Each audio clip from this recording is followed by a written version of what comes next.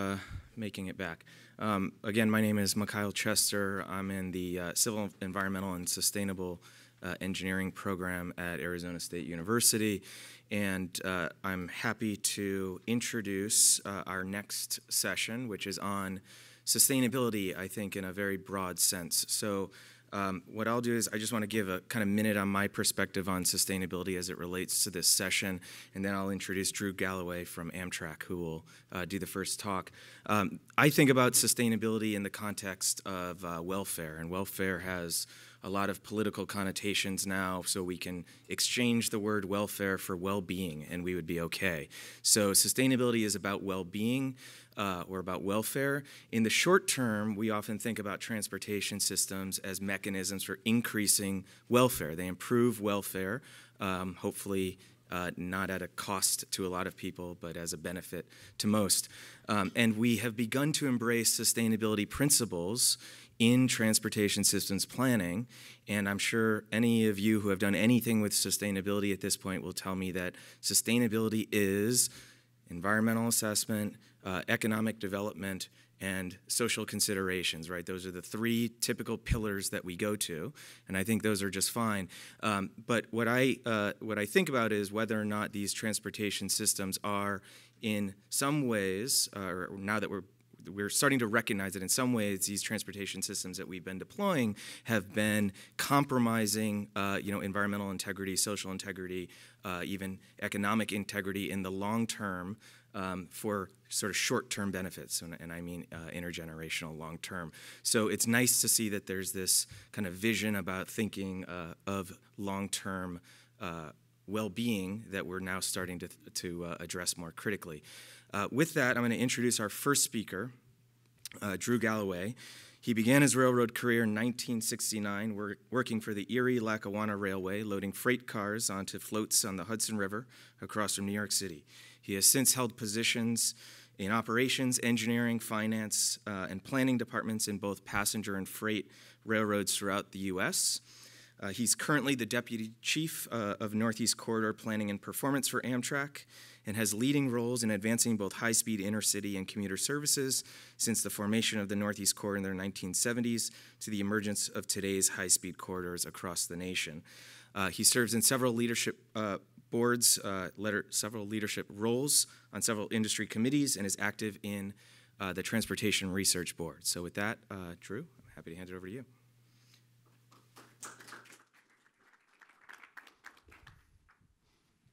Thank you, Mikhail. I hope everybody didn't have a particularly heavy lunch. So, um, so um, let's see. This is a different screen on this compared to where I am. Is this operate this way? Okay. Um, I appreciate the opportunity. Um, I'm more of the train guy than the sustainability guy in terms of background and how I got used to it. But you come to understand the relationship and the importance between the two. Um, and it really gets ingrained, embedded into the corporate culture as we go forward.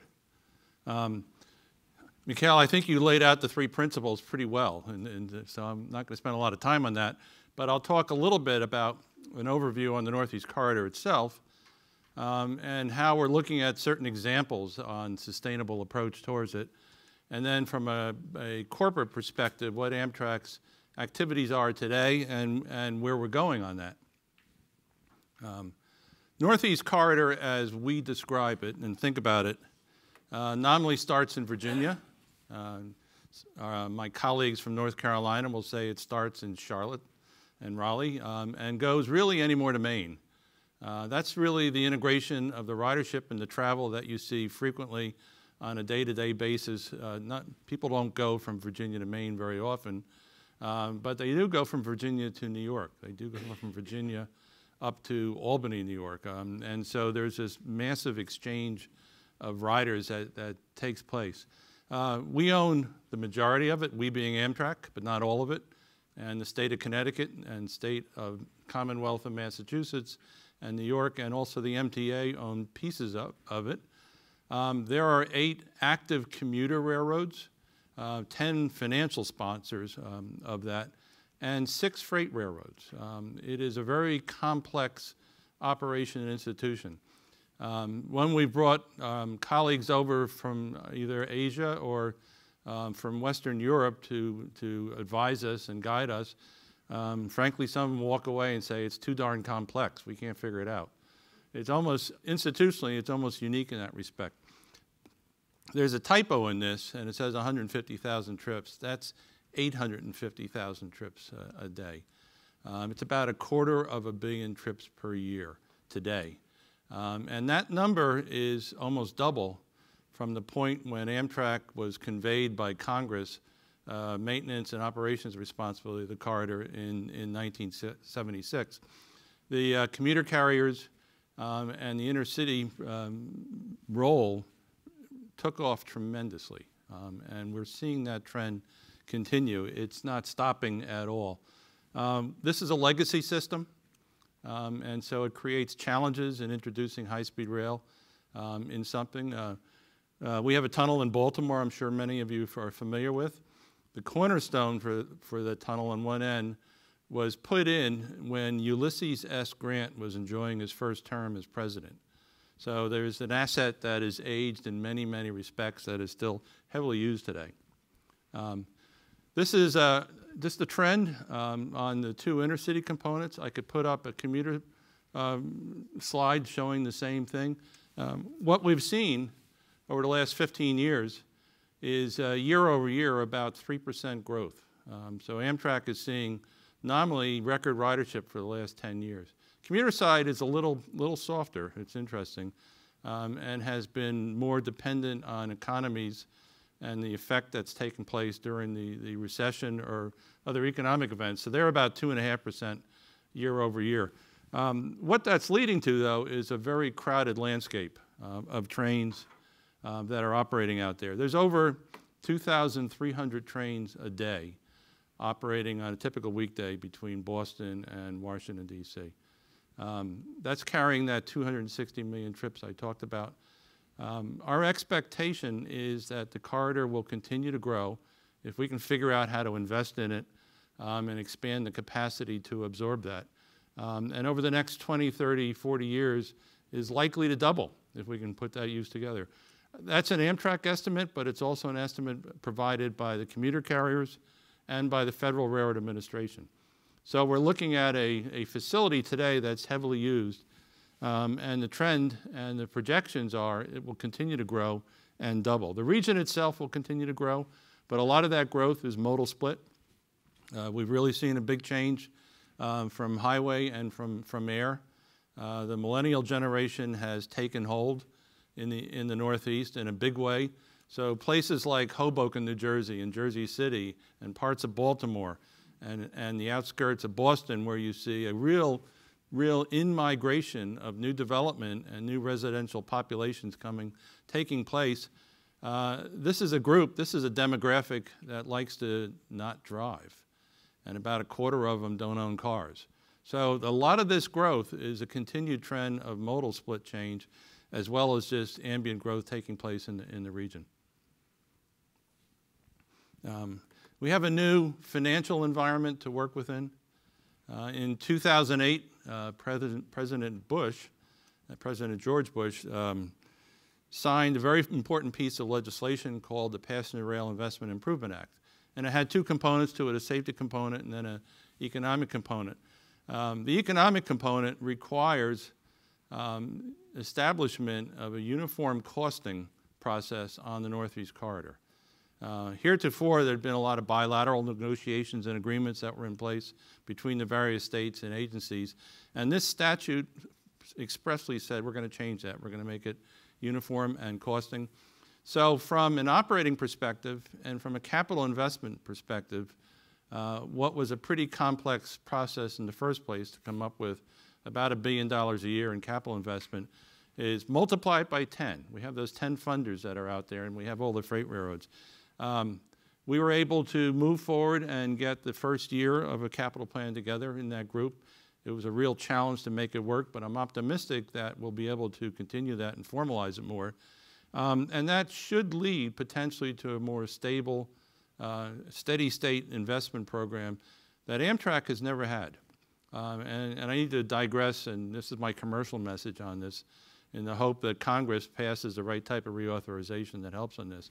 Prior to this act, which only covers about half the funding of the needs, um, Amtrak was subject to annual grants for capital programming. Typical bridge takes 10 years to build over a, a marine environment. And think about trying to plan something like that. Every year you had to go back to the drawing boards, essentially. It was hugely inefficient, and so we are very hopeful that there's going to be a more stable, predictive way to make investments that'll make a much bit better product that come out of it. Talk a little bit about high-speed rail now, because this is actually a very exciting component for us. Um, and, and Amtrak runs, depending on your definition. Um, the FRA will say that high-speed rail begins with sustained speeds at 90 miles an hour for emerging corridors. And you can look in the Midwest and, and find locations uh, in Michigan, the Illinois corridor is coming, emerging that way. California, uh, the corridor down in San Diego actually has some potential that way. Um, then there's another tier that talks about nominally 125 to 160, and above that is very high-speed rail. Those are the three tiers that were examined. Uh, for Amtrak, we're in that middle tier. Uh, the Northeast Corridor has a maximum speed of 160, um, and, and I'll, I'll talk about that in a, in a little more detail.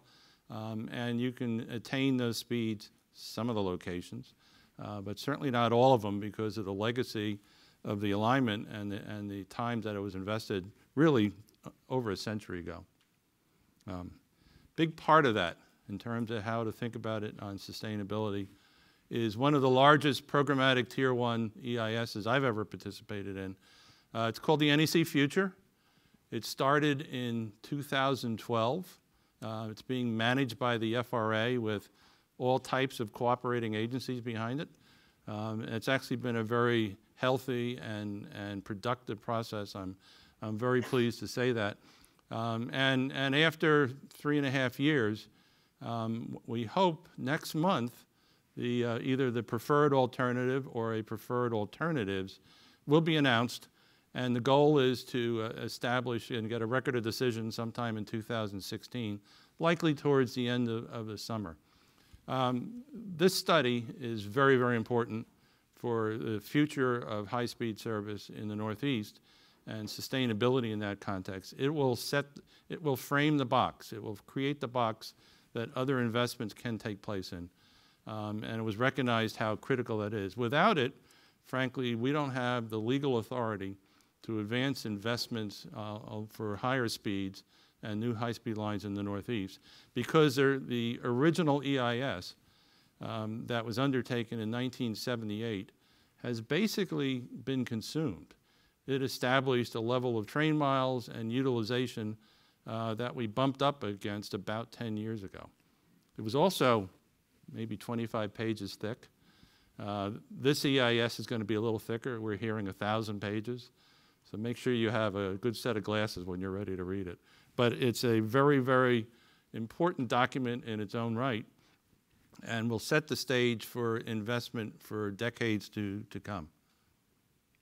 Um, we have 20 train sets today that were manufactured starting about 15 years ago. Um, they are rapidly reaching the end of their market life um, and in, in, in, some respects are reaching the end of their technological life. Uh, those 20 train sets provide all the high-speed service between Boston and Washington, 17 run every, every day, and carry over three and a half million trips a year. Uh, they also generate a very sizable percentage of the revenue that goes back in the Northeast corridor in, in terms of investment give you a sense of how quickly the market changes in this, and I think this group knows. While this is a, the Acela that you see is a very sophisticated train set and has a lot of onboard diagnostics and computer systems to support it, uh, because of when it was built, it runs on Windows 95. Um, think of trying to find software to support that anymore. Think of trying to find hardware that you can use. We, we have to employ specialists who still understand and can talk Windows 95. So we're pretty anxious to see something new come along. Um, we're fairly advanced in negotiations um, to look at a, the next generation of, of a high-speed train. This is an illustrative train in, in how it looks. Um, and we're hopeful of going from 20 to upwards of 28 train sets so that we can double the service frequency during peak times at a minimum, and hopefully we'll go to half-hour service all day. That's our goal, and we think we can achieve it, and in particular, we think the market is there to achieve it. Um, this train set will be limited to 160 miles an hour um, on the Northeast Corridor initially. We're going to try and get options to go faster. Um, and the, the, reason for this is actually two very important reasons. One is that 2,000 trains I talked about that are commuter trains out there, this will be, in a crashworthiness perspective, a Tier 3 vehicle. And we need a special waiver to operate a Tier 3 vehicle above 125 miles an hour with all those commuter trains, and I might add, unit oil trains that are still operating daily from the Bakken shale fields um, onto the Northeast Corridor. So you have this very big mix, and the FRA and Amtrak went through a very extensive analysis on crashworthiness criteria and techniques and agreed that that would be a practical speed uh, in, in that mixed traffic environment. What is also a major factor in this is that the, this legacy system, which has about 2,000 track miles between Washington and Boston, when you total it all up, was built to much more narrow track, track centers than you find in a modern high-speed system. Uh, UIC standard is 16 feet. Uh, JR East will say they want 15 feet. Much of the Northeast Corridor is 13 feet. And, and the aerodynamic effects of a high-speed train and another train with those very narrow track centers is, a significant impact. Um, and it became one that we all agreed to limit it at that speed unless new alignment, new routes, new structure is put in place that would allow a faster speed. 350 kph is what California high-speed rail is aiming towards. Uh, so it gives you a, a, sense of comparison and what the, the distances are. Um, the other big factor we learned was that in order to maintain travel time on the Northeast Corridor, which has this very curvy alignment, we need an active suspension that tilts. Um, there isn't a product in the world that, that runs in a high-speed environment with tilting suspension that works well above 160 miles an hour. So there was a bunch of different reasons that came together um, that brought us to this. We're very excited to say even under those limitations, we think the new product will be wonderful and well received, and each train will carry between 400 and 450 passengers versus the current Acela, which carries only 300. Uh, so we're going to have a very large increase in, in, seat capacity, run more trains, and, and really utilize the system in a way that we simply cannot today. When you look at it from an energy perspective, um, this is a good news story. Um, and, and on a, you know, on a seat mile basis, it compares very favorably um, to highway and to air. You have to figure out what is an appropriate distance for air to have that comparison, but on a apples to apples basis, clearly high-speed rail is very good on that. Um, I talked a little bit about the increased capacity on this.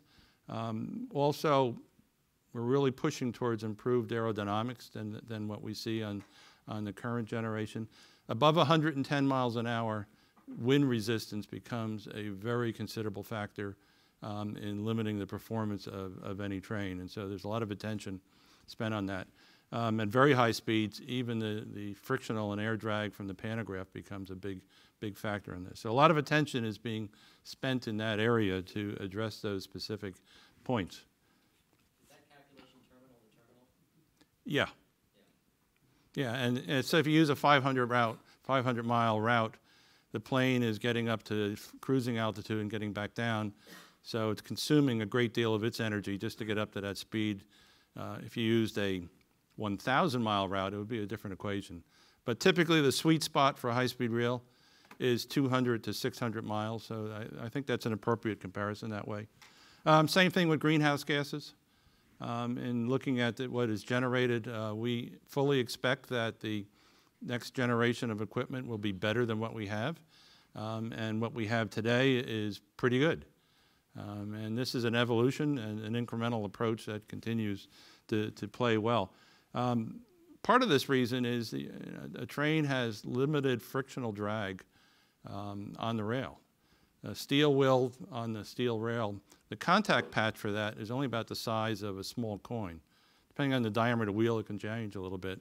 But you have this very small contact point that generates very little friction, and that's one of the reasons you can have something as efficient as this in, in operations.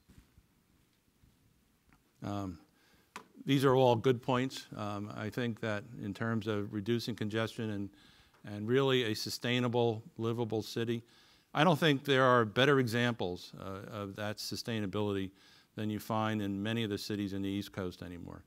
Um, and with New York and Washington really leading the way, and Baltimore is really having a rebirth. It's wonderful to see elements of that coming back in a way that didn't, that simply wasn't there a decade or, or so ago.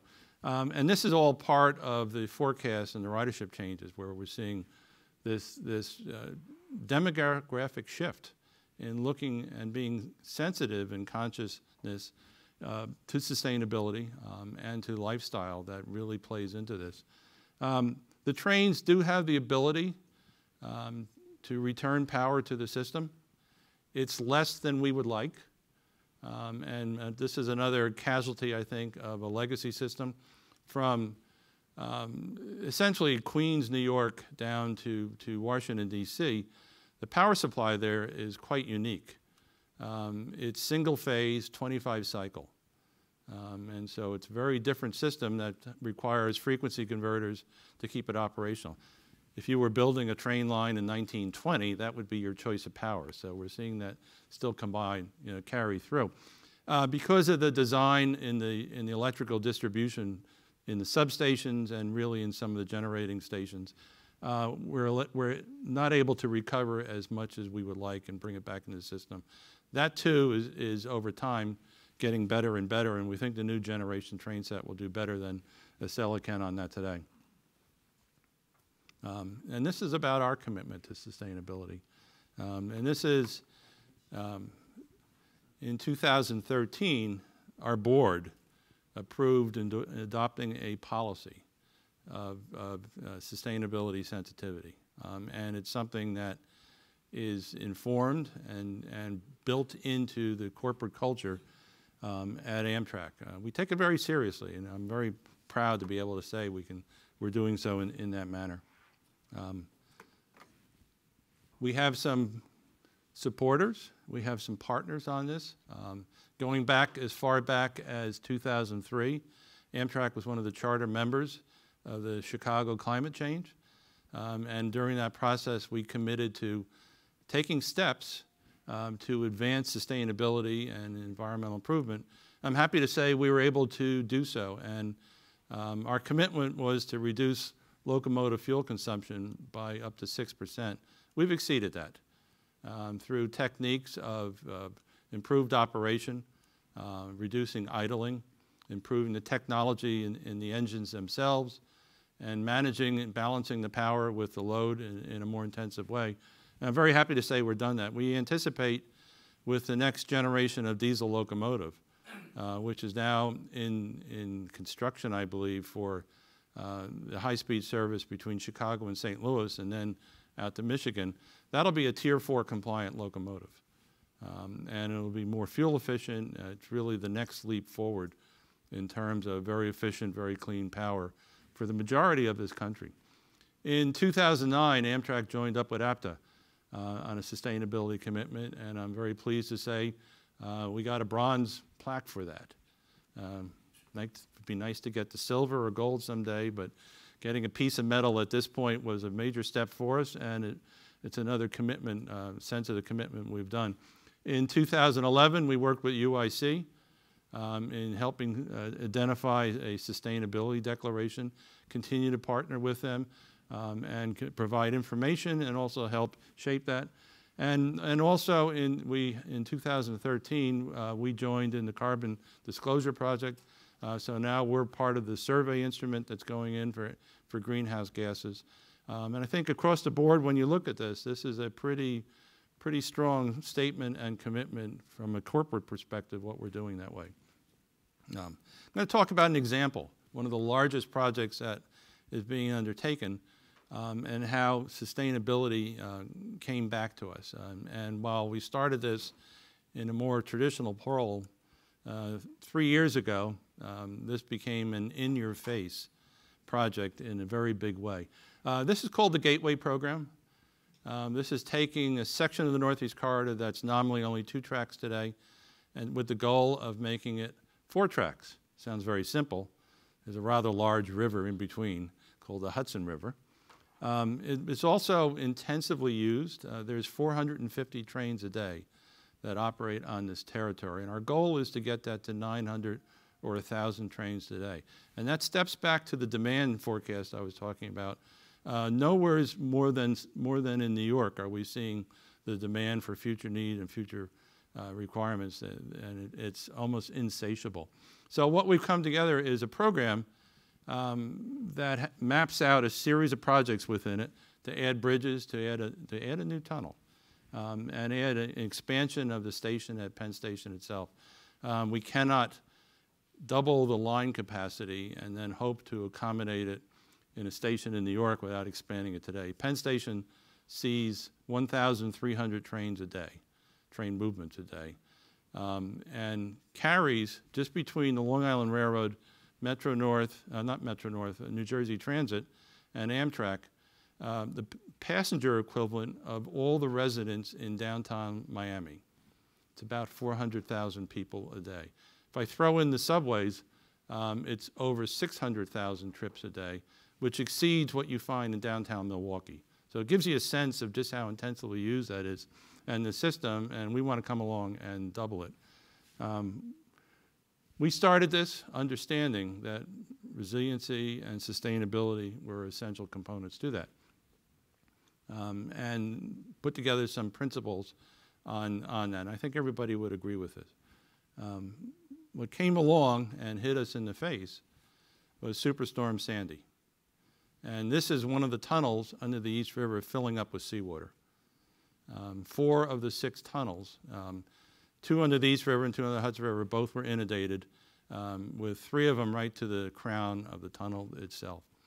Uh, 13 million gallons later, they got pumped out, and within 10 days, we were back in service. That was an incredible act in, in its own right. But what it did is the seawater, which had chlorides and other bad things left as deposits, has gotten and penetrated into the concrete bench walls, has penetrated into the electrical distribution system, has penetrated into all the support systems. There's no practical way of flushing it out. Uh, we've tried several different times with several different techniques, and it's been unsuccessful. Nobody else has figured out how to do it either. And so uh, we're looking at basically a ticking clock. Um, after two engineering analyses, uh, the consensus was that the tunnels are safe for operation for another 10 to 20 years, but at some point, the degradation that we're experiencing will get to the point we're going to have to remove these tunnels from service. Um, that's an unthinkable future, uh, given the demand that's in place today and given the, the use that we see. Um, I mean, and, and we can, maybe can take one of the four tunnels out under the East River and rebuild it which is exactly what the MTA did in rebuilding the Montague Street Tunnel, which was similarly flooded. This is at the Battery um, from the tip of Manhattan down in, into Brooklyn. And the, World, and the World Trade Center line and the Port Authority had to do the same thing with the PATH lines. Um, it's unthinkable for us to do this under the Hudson River. And the reason for that is 24 trains an hour is what we see today on a typical peak hour during, during the rush hour. It goes to six when one of those tracks comes out. That's because you're single tracking and there's no practical way to sustain, even come close to the level of capacity. If we did that, we're essentially cutting off all rail service west of Manhattan. Uh, we are materially, uh, in a very big way, damaging the economy of the entire region and maybe the nation.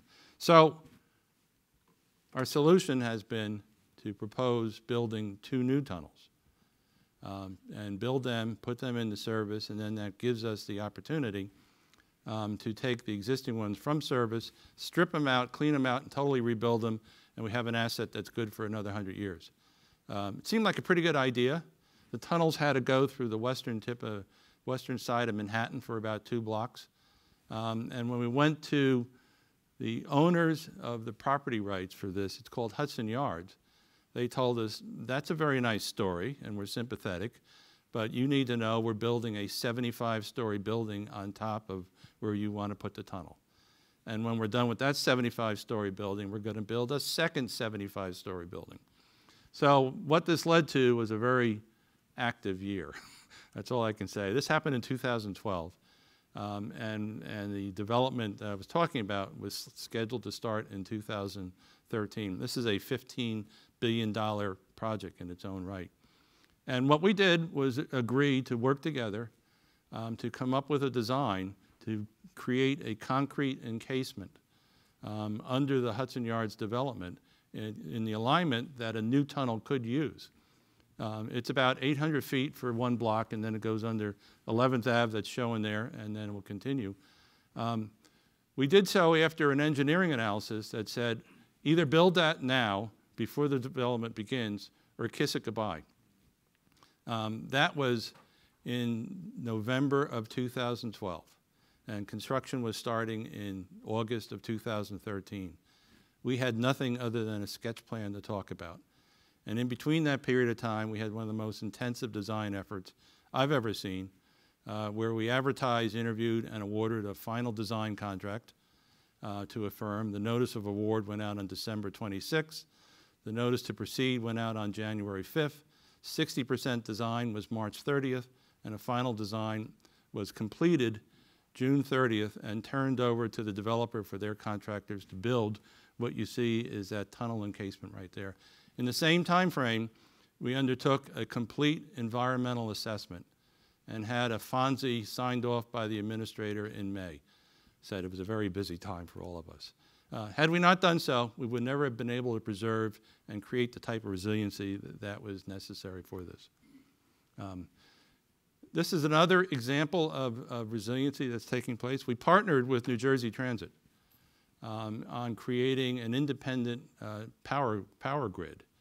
Um, they're going to build a new gas-fired generating station in, in the northern New Jersey area that's sufficiently large to power the, the light rail line, if you're familiar with it, uh, the New Jersey Transit commuter lines in the area, and the Northeast Corridor between New York and a city called New Brunswick, about 30 miles to the west. That will be available and will be completely resilient and redundant um, for, for use during any type of weather emergencies. Um, New Jersey Transit intends to use that on a daily basis because they're going to save money. It's going to be more efficient than the power that they buy today. I'm happy to say we did the same thing um, with the MTA in Queens and the New York Power Authority and are looking at establishing an independent power grid on the east side of, of the state as well. Uh, we learned some lessons. We learned some lessons about how critical it is to have this sustainability and capability, and these are concrete actions, I think, that are coming out from it.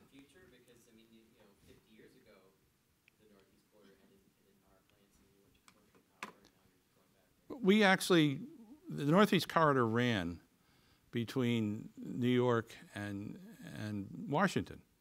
And that's because a lot of the power is generated in the Philadelphia area, and it's capable of having its own um, uh, transmission lines uh, to use it. Uh, it's a limited supply. Um, uh, there are still two active water wheels on a dam in, over the Susquehanna River. That's part of it. It's not large enough to sustain the growth I talked about. It's not large enough to sustain um, the, when there's an issue. And we did have a problem.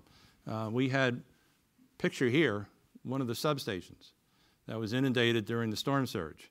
Knocked it out, knocked it out for two months. Um, and it was, it was something that the new independent power grid will address. We're going to jack this up and put it on a much higher elevation. Um, and it's all an attempt to to have a level of redundancy that simply did not exist when we, or where we are today, and we think it's essential to do so. It's also going to increase the power supply overall, and it gets towards, we need, we probably need another 60 to 100 megawatts of power uh, when that full expansion is done.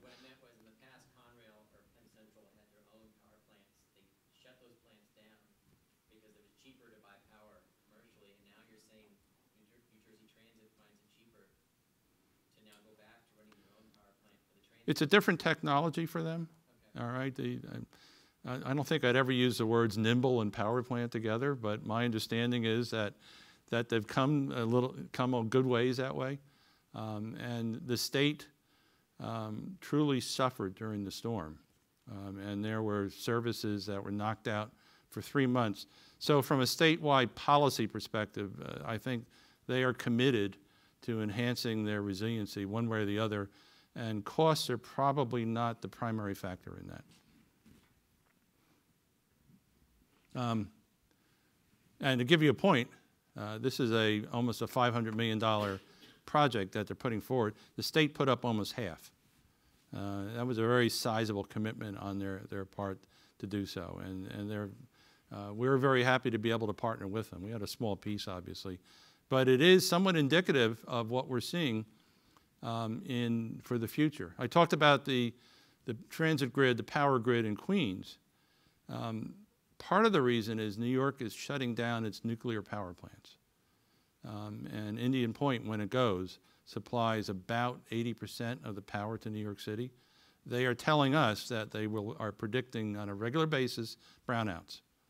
Uh, that's not a good thing when you want to run a service. So it's not just Amtrak, it's not just the MTA, it is the entire region and community that is facing some big challenges on how to have enough power out there in, in the future. Um, This is a little different on sustainability. Um, and we have five big stations. They're beautiful. Washington being one, Philadelphia uh, is one, Chicago is one. They're all built 80 years ago. Um, they all consume lots of energy and are inefficient in many, many respects. And they all require a ton of money uh, to fix them up and, and do something better with them. Um, we've entered into partnerships with the, with the local communities, uh, with the local developers, uh, with the local operators. Um, Philadelphia is a good example I'll use quickly, um, where uh, Amtrak, um, the Drexel University, you wouldn't think of that, University of Penn, Brandywine Partners, which is a major development in the area, have all joined to create this master plan. SEPTA came in, um, PennDOT came in, and what it's going to do is really transform the region, uh, introduce TOD in a way that doesn't exist today, um, and leverage that investment to help offset the costs that we see on, on the current structure. Um, it's a very exciting process. You may have heard of some of that for Washington. Baltimore is getting under the way the same way, which is a beautiful station that can use some help in that respect. Um, we also have a climate change initiative on our own. Um, and uh, I talked about Superstorm Sandy. The flooding from that storm was so extensive that the machinery room for the Mystic River drawbridge in, in upstate Connecticut was knocked out. Um, that gives you a sense of how that is. But it gives a sense of how vulnerable the corridor is in places. And we have ingrained and embedded into our planning process, starting to look at resiliency from a climate change, what, what's happening with sea level rise, uh, what is happening with storm surges, what is happening in, in uh, ambient temperature changes, uh, the whole gamut of it. Uh, we had a kickoff phase in 2014, went to a pilot program in the Wilmington, Delaware area. We chose that because within a relatively compact area, uh, we had a lot of low-lying uh, railway alignment, potential from river flooding, potential from estuarine flooding, and mission-critical facilities. There are major shops there, um, and our major control center that dispatches the trains uh, from Washington, D.C. to almost to New York is located in Wilmington. Um, if that got flooded out, we would all be. So we looked at that, we've completed it, we have the results. And what we're going to do now is establish criteria, um, establish standards, and take that into account as the capital plan proceeds. Um, it's a smart thing to do, and I think it's the right thing to do. And I thank you for your attention.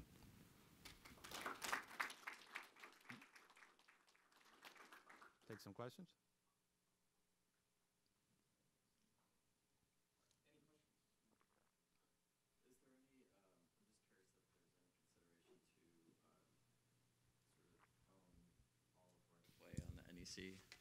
Uh, you know, you said uh, Connecticut and I think New York State. Is there, would there be any advantage to possibly uh, own that right of way of, as well, or I, I or think not? we would take out the pen and write the check tomorrow if we could do so. right. Um, the, the, and the reason that those three states have fee ownership is the Penn Central trustee, which was the, the Penn Central was the largest bankruptcy in the United States uh, when it failed, not just the railroad, just largest bankruptcy period, 1970.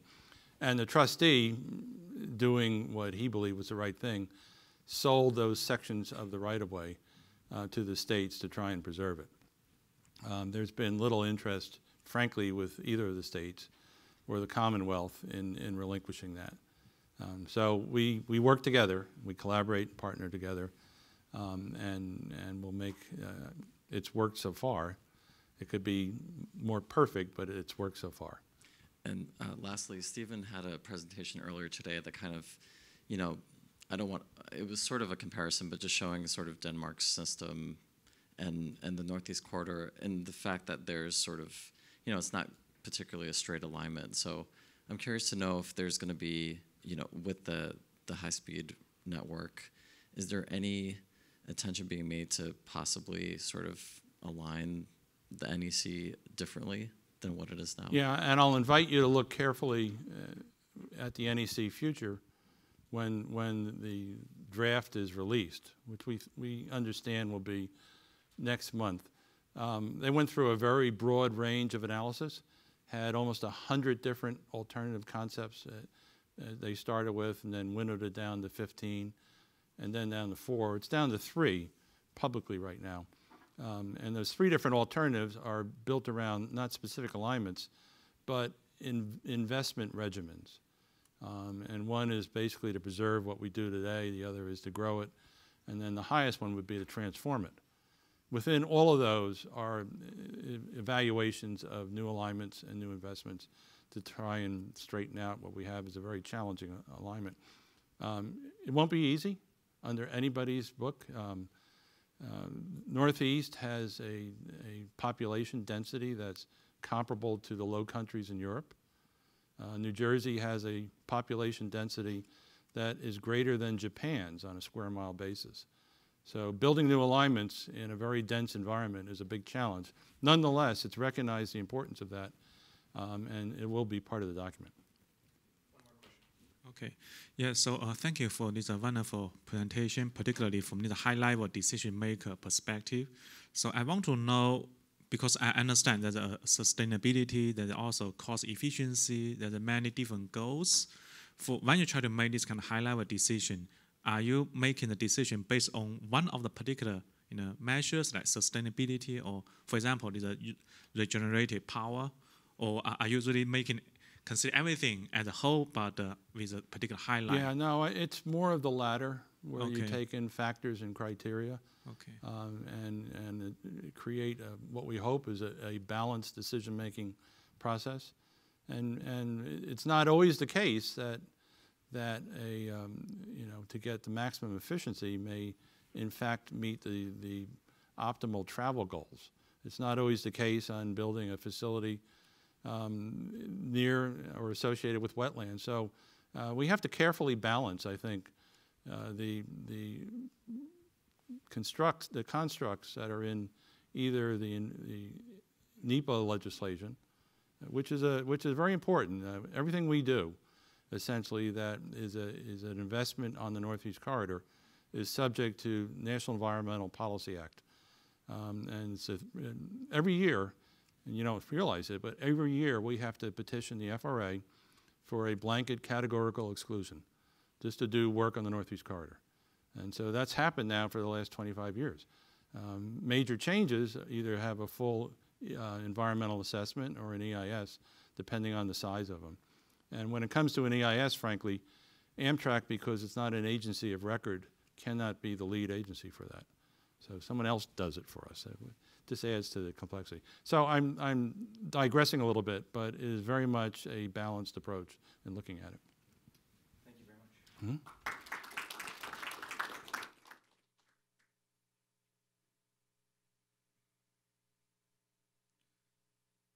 Okay, so our uh, our next speaker is um, our next two speakers.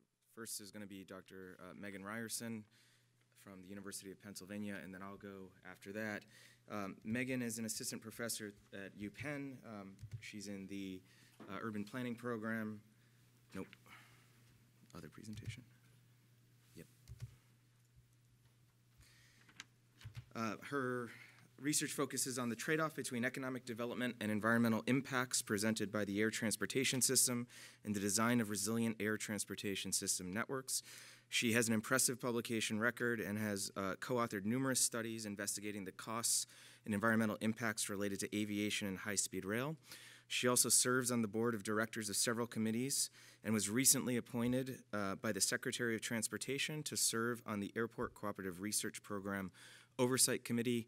And we're happy to have Megan here talking about uh, energy and uh, environmental impacts in aviation, which I think is a necessity if you want to understand what's going to happen on high speed rail.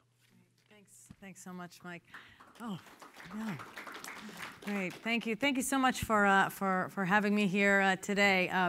We are very much going to uh, switch gears, uh, as, uh, as Mike said in the introduction, and talk about air transportation and also talk about what changes in the air transportation system mean for intercity transportation more broadly, and the other way, what do changes in the intercity transportation system, particularly looking at what what I consider short haul uh, is uh, the that three 200 to 600 mile distance. What changes in travel modes and travel patterns might mean for the air transportation system. Uh, so uh, I am going to start out by giving some perspective on the emissions from the air transportation system.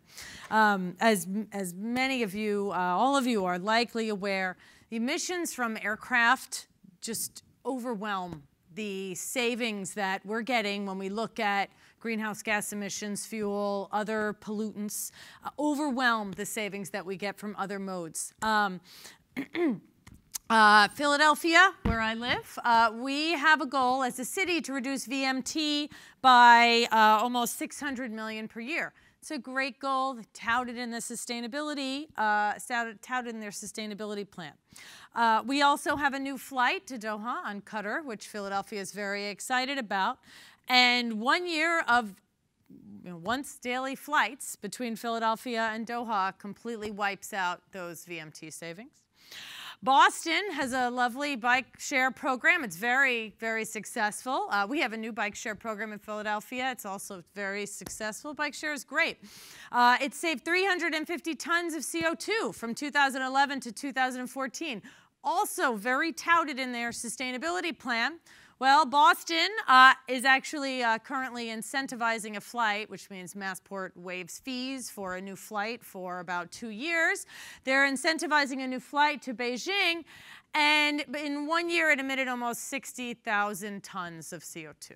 So this is the sort of scale of the aviation emissions just compared to some other sort of more urban sustainability goals. Right? And so, you know, in the past year, US, US aircraft emitted 11% of greenhouse gas emissions from the transportation sector, 3% of the total US greenhouse gas emissions, 29% of greenhouse gas emissions from all aircraft globally, and 0.05 0.05% uh, of total greenhouse gas emissions.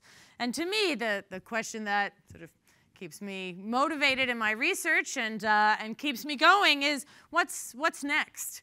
Is it going up? Is it going down? Is there any way to make it go down? Uh, are we able to digest the, the, the, changes to our travel patterns and our lives if, uh, in order to make those emissions go down? Those are the sort of questions that drive me. So I want to talk about three areas, um, three areas of, of trends uh, and almost sort of normative principles in the air transportation system and the way that we view it, um, and how I think those are going to contribute to the broader environmental impact picture of intercity transportation. So I'm going to talk a little bit about system growth and system contraction. I'm going to talk about air transportation and economic development. Uh, and I'm going to talk about uh, technology, procedures, and regulations. So let's just talk about system growth. Um, let's just talk about system growth for a little bit. Um, there was a, uh, a, speaker earlier before lunch who talked about the the great sort of you know, contraction of our rail services. Uh, in air transportation, we have a term for that that we call capacity discipline. Maybe this is something you're, you're aware of. You've seen, uh, you've seen in the news because the airlines are practicing a lot of capacity discipline these days. And basically, in the in the 80s and the 90s, the airlines competed on frequency. There's a really nice paper, uh, piece of research that shows that airlines could increase their market share much more by increasing frequency rather than decreasing fares. Right? So the airlines oversupplied flights in the market, uh, and airports sort of rushed to accommodate them by, uh, by expanding. Well, the, the, the recession, of very high fuel prices in about the mid 2000s six airlines merged, merged into three, and the airlines realized that they could make money by reducing flights, focusing on their key markets. And so, what we're seeing now compared to what we saw 10 years ago is a high concentration of flights in key, in key markets. Much lower concentrations of flights in marginally profitable markets. So we have, you know, we have thin markets, we have very sort of fat markets, and we have um, really intense congestion at certain key hubs, right? So, you know, the, the New York markets are, you know, even more important. LA, San Francisco, the, the Chicago, right? These big, big airports are even more stressed than they were, whereas the smaller airports are, um, the smaller airports are, um, are significantly uh, the smaller airports have lost significant uh, service. So we're seeing congestion at uh, we're seeing congestion in um, in very key airports. Um, and something that I tend I, I look at in my research is the impact of congestion on how airlines operate. And what I've found is that when there's a lack of predictability in the system, the airlines overfuel. And when they overfuel, they can burn up to 5% more fuel on a per flight basis. This is a huge amount of fuel, especially when you consider the billions of dollars we're pouring to get airlines to reduce their fuel consumption by 1% per flight. up, up to 5% of their fuel consumption due to unpredictability is an enormous uh, amount of fuel. Right, so we have these congested markets, and we have unpredictability, and we have increases in, um, in fuel consumption. Another, um, another uh, piece that's so important to this is that these markets where airlines are uh, really focusing on tend to be the markets that are the most impacted by local pollutants and pollutants in the areas around the airport. I know that there's a lot of airports on the x-axis here. Um, I'll just uh, say a few things, and this is work that um, Mikhail and I are working on uh, right now. One thing we did was we looked at the damage cost for a single flight on a per airport basis, and these are different aircraft. Um, the, uh, the top mark being a 747, so it's just going to have the largest damage cost overall. And what we found is that because of the sort of because of the high levels of pollutants that already exist in the atmosphere in certain cities around the airports, particularly in Los Angeles, New York, Chicago, Minneapolis, uh, Detroit, and so on. If flight landing at an airport in, at the airport in Minneapolis, the same flight landing at an airport in Charlotte or Seattle has a much lower cost, a much lower impact. Landing in Minneapolis causes much more damage than landing in, um, than, than landing in Boise. Right? And, and we were able to rank the airports in that way. And what we found is that these hubs or these major airports where the airlines are focusing on tend to be on this high damage side of the graph. Right? So, ooh.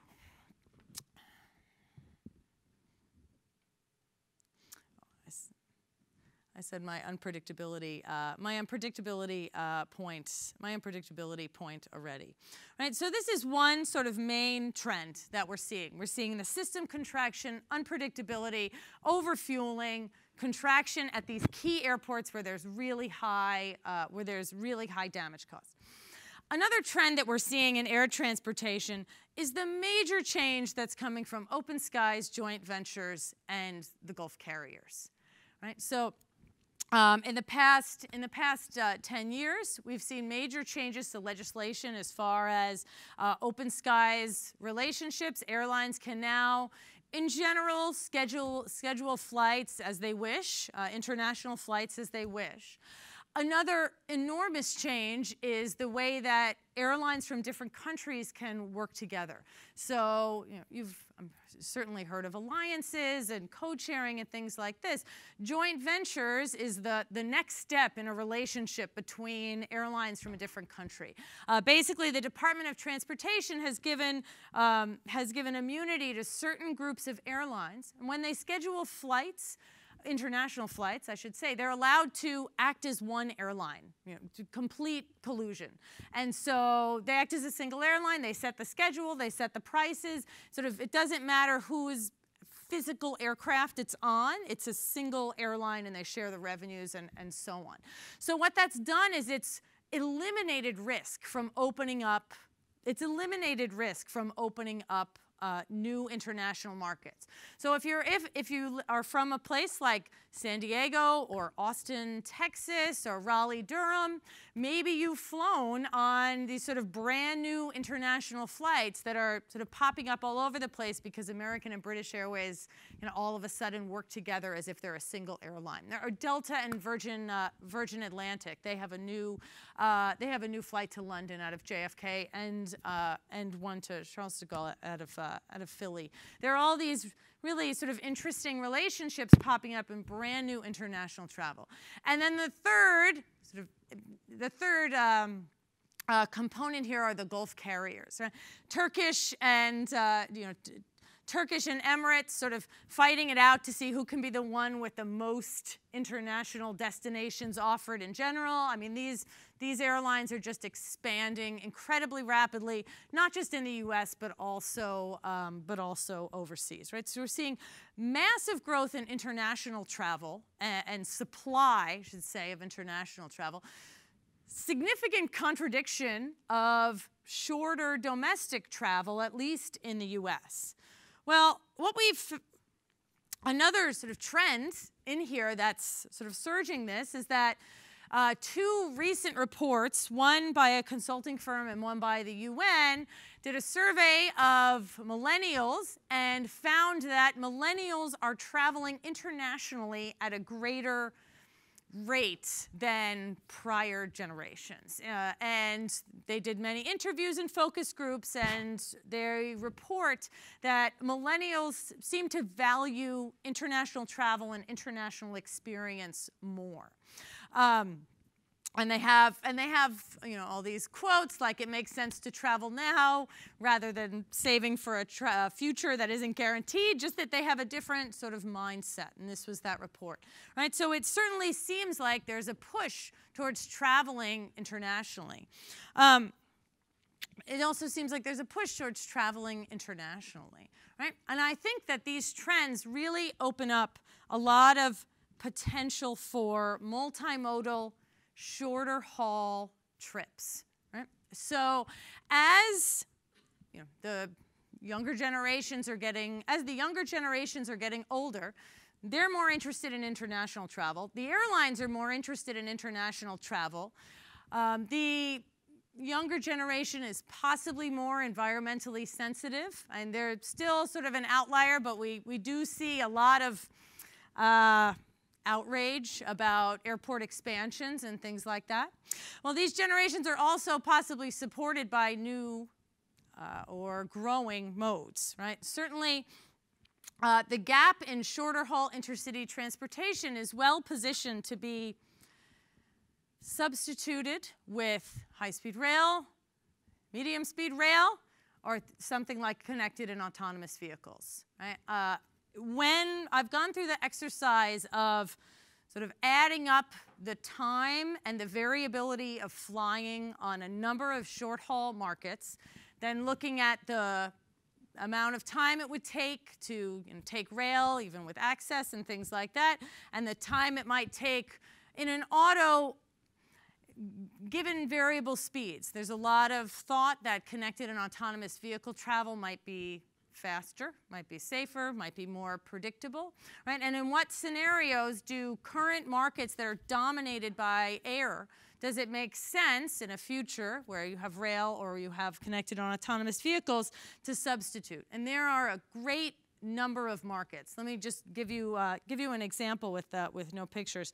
The Atlanta airport has a number of somewhat large southeastern markets surrounding it. Chattanooga, Knoxville, Nashville, and, and airports like this.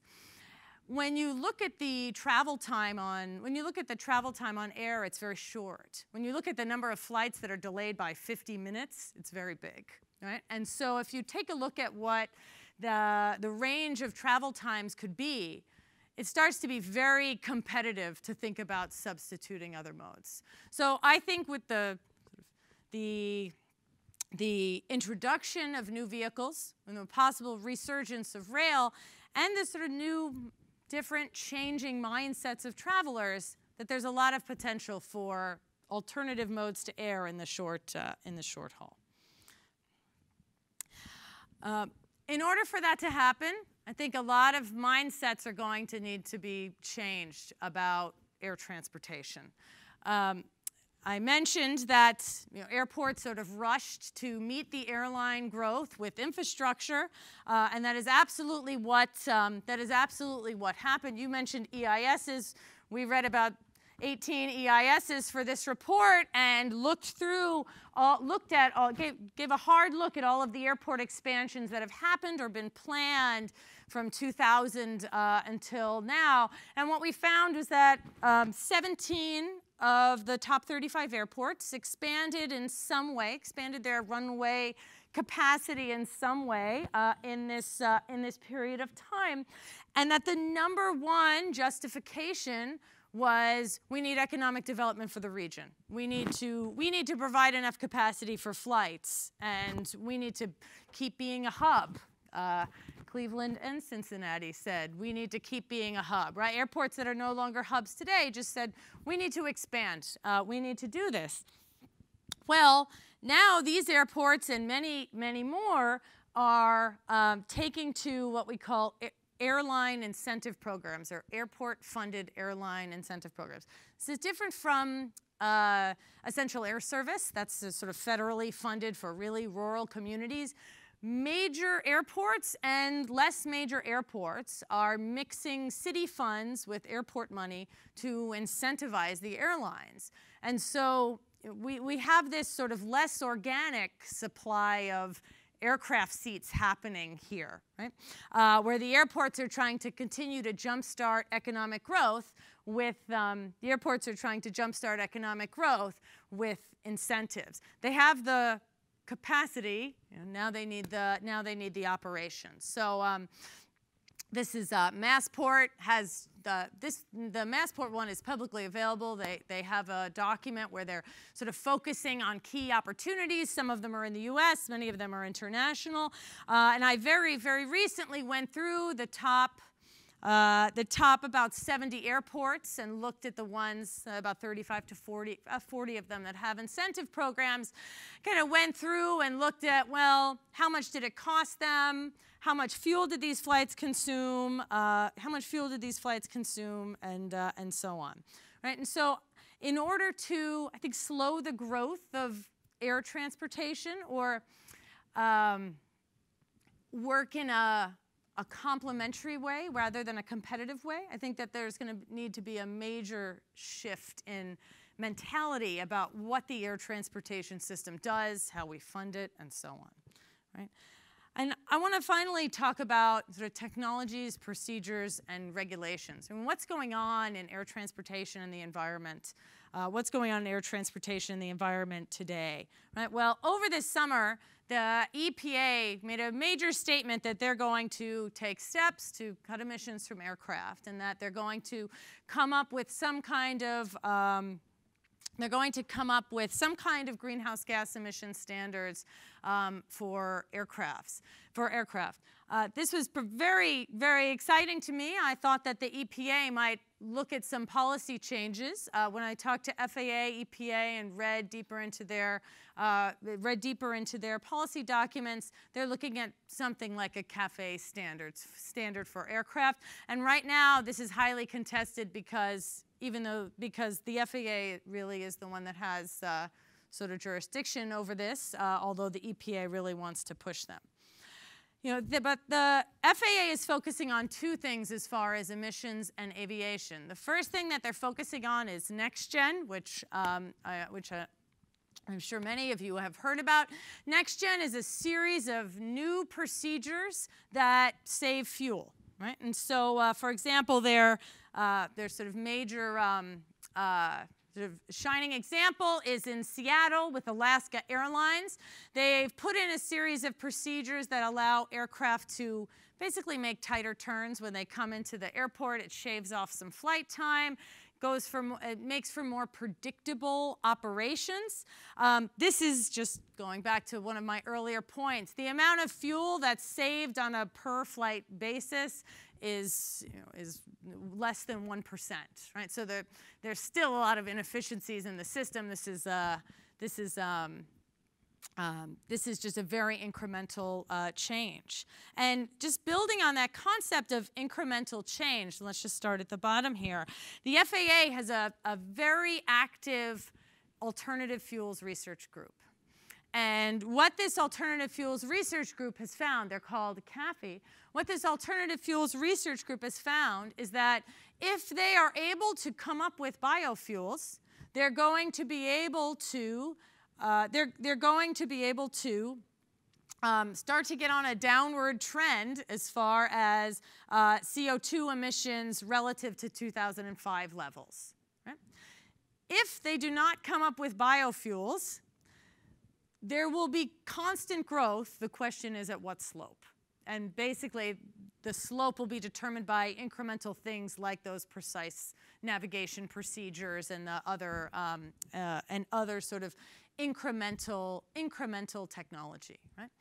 So unlike other modes of transportation, which are looking towards a future of, um, which are looking towards a future of you know, downward sloping growth, without biofuels, air transportation is, the question is, how much are we going to grow? Not will we get to negative. And I'd like to also um, mention that you know, while the FAA has really focused on biofuels, they have a lot of research going on, uh, relationships with universities.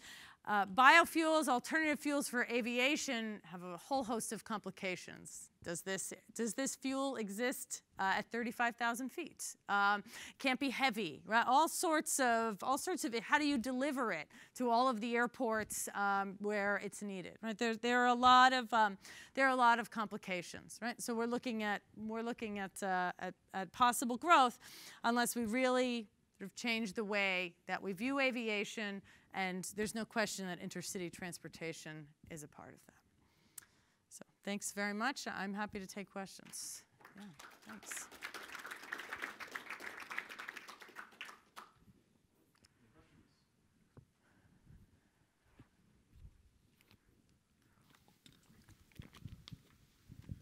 So um, you do mention in the NextGen. Uh, do you want to say more broadly that uh, uh, beyond just cutting the changing the route, how they can reduce the say the uh, the emissions? Because I, I know that it, originally the NextGen is designed for improving efficiency. Right? Mm-hmm. Yeah. yeah. I think one one way is this uh, reducing or, or increasing uh, predictability in flight planning. So um, what I was what I was mentioning about air, airlines overfueling is that you know, uh, uh, uh, you know Delta Airlines is planning a flight to New York. Excuse me. They know the chance that that aircraft is going to have to circle above New, in the New York airspace is very high, but they don't know if it's for five minutes or 30 minutes, right? And they have historical experience and, and things like that. But they plan for the worst so they don't have to go to Albany, right? They, or, or, or some other, or, or, Bradley, right? They, they plan for the worst so they don't have to divert. And with more predictability, what we're finding is that they'll be able to reduce contingency fuel load. So I have a, a study where we correlated you know, uh, the, the, the, the, variability around landing time um, and contingency fueling. And we were able to say if you can you know, increase the predictability, it's worth this much fuel. Um, so I think that's I think that's one way. The FAA is very focused on predictability um, right now. Uh, precise navigation is um, is precise navigation is absolutely another one, um, and another another sort of key one is um, with radar operations, they can be aircraft can be more closely spaced. So you'll have less delay. You'll need you'll need smaller headways between uh, subsequent flights. You can get more efficiency out of the system, and there should be fewer you know, delayed operations. So the damage you are talking about is by just uh, flying over the airport uh, to wait, wait for them to land. Is that the additional? So you mean the very early slide Right. with the damage cost? Right. Yeah, so we looked at uh, what we call in aviation the landing takeoff cycle, which is up to the mixing height of 3,000 feet. And basically, it's thought that you know, local pollutants like NOx and, uh, and those, they affect populations around the airport up to three up up to 3,000 feet, or the emissions from the aircraft. So, the distances will vary based on the sort of takeoff pitch and, and so on. But basically, how basically about five kilometers around the airport.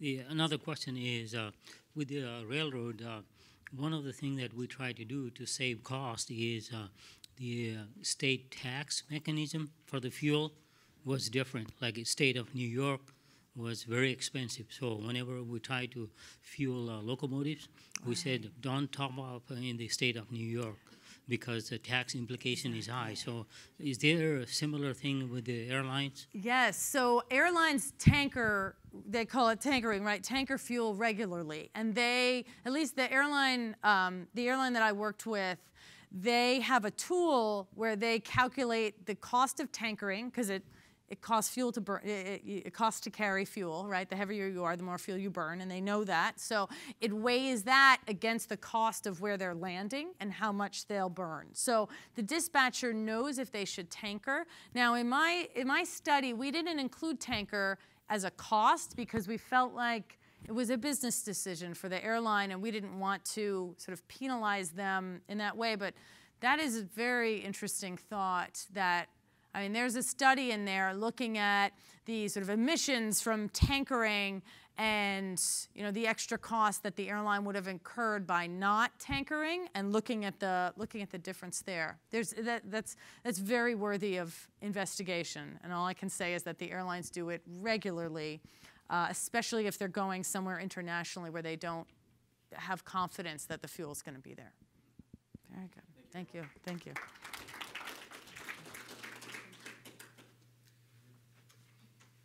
Okay, uh, I'm, I know I stand between you and your weekend, so I'll be fast.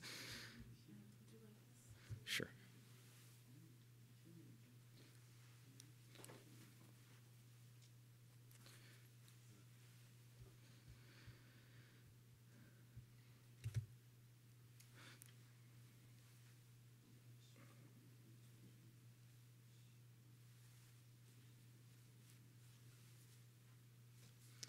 Okay, so uh, thank you all for, uh, for coming to the workshop again. Um, I'm going to finish the series of presentations talking about the life cycle environmental impacts of uh, high-speed rail will be my focus, but ultimately I'll get to comparisons of high-speed rail, aviation, and automobile travel. So uh, Drew was kind enough to show us the, uh, I forget what it was, per seat or per passenger uh, energy intensity of uh, rail versus other modes. And what I want you to think about is, uh, before I get started, what happens when you add in the other things that are needed in order for a vehicle to move, or more specifically, a passenger to move. So, uh, all transportation systems require rolling stock, right of way, and terminal capacity, right? And you can't abstract those away and say only the movement of the vehicle is the thing that we're interested in. We have to think about all of those other things. And in the context of life cycle assessment, what we're trying to do is quantify the environmental impacts that are associated with infrastructure, vehicles, and energy production. Uh, Drew, you don't have to be concerned. Uh, high speed rail comes out as the winner.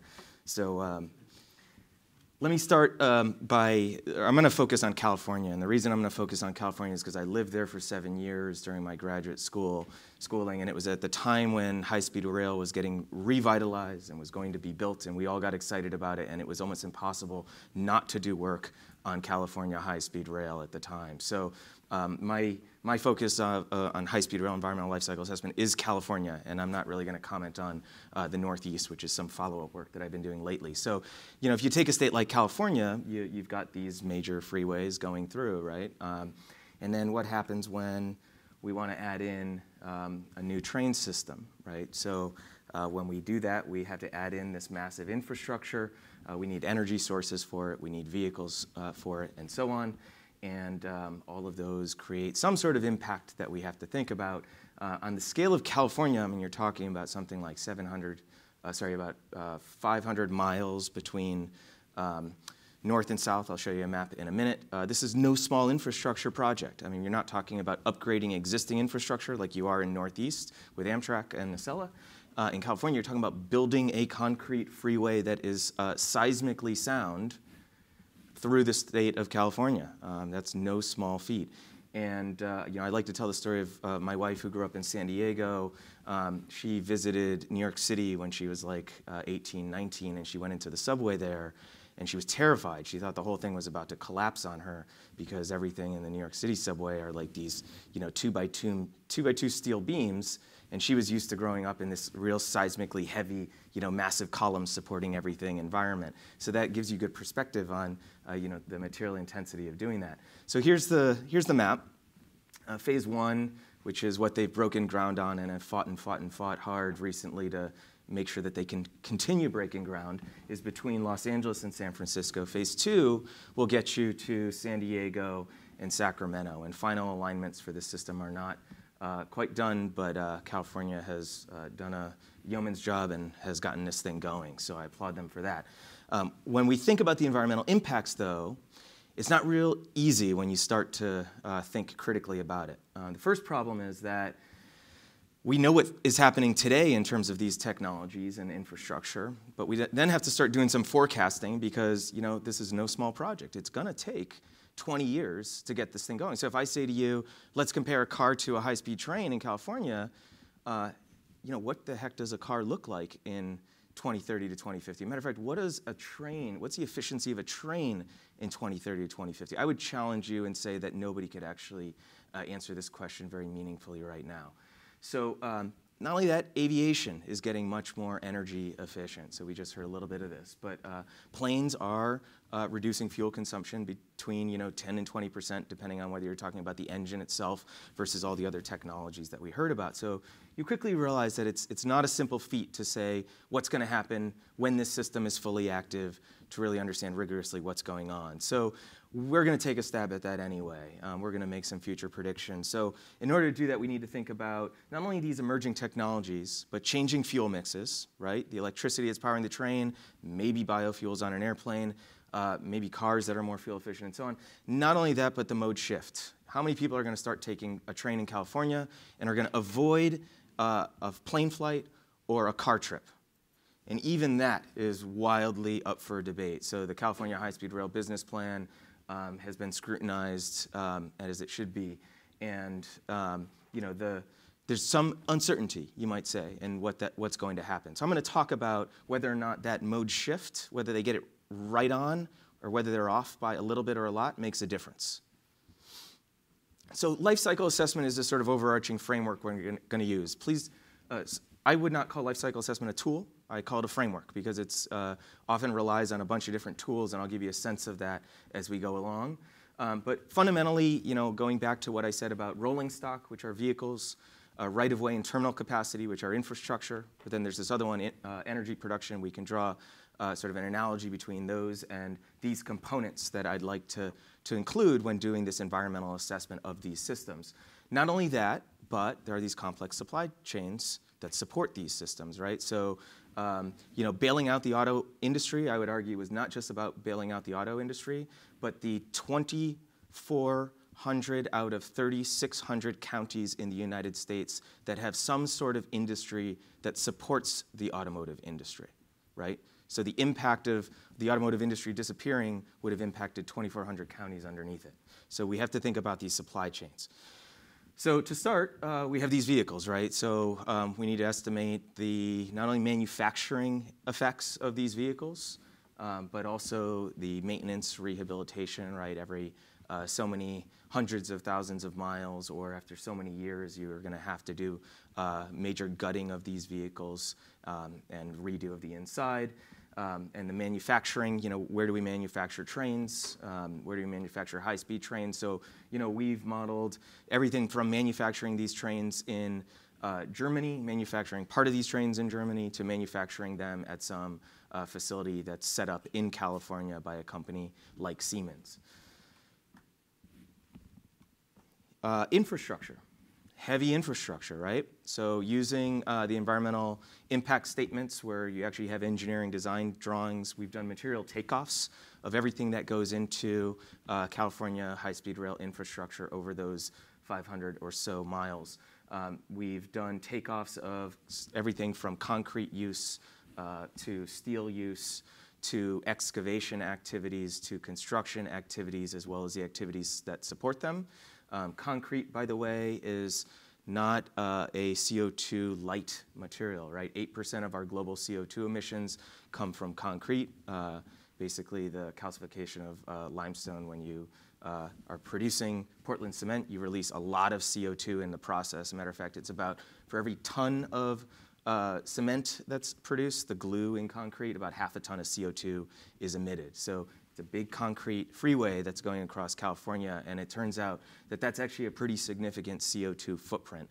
Uh, it's equivalent to uh, building out that infrastructure is equivalent to the entire CO2 emissions emitted uh, from the state of California over two days right now. So uh, you may consider that small, but that's huge. That's, that's both, yeah. So the chemical process is about half of it, and then the uh, fuel, as well as construction activities, right, are uh, another part of it. And then energy production. So, um, you know, what energy mix is this train going to consume? So we heard, uh, you know, a thought about that earlier.